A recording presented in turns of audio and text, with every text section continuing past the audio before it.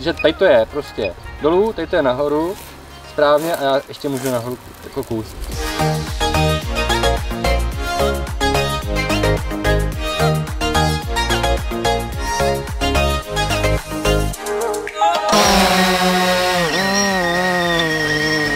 Do ruky je to stokrát lepší než kdykoliv na zem. Uh.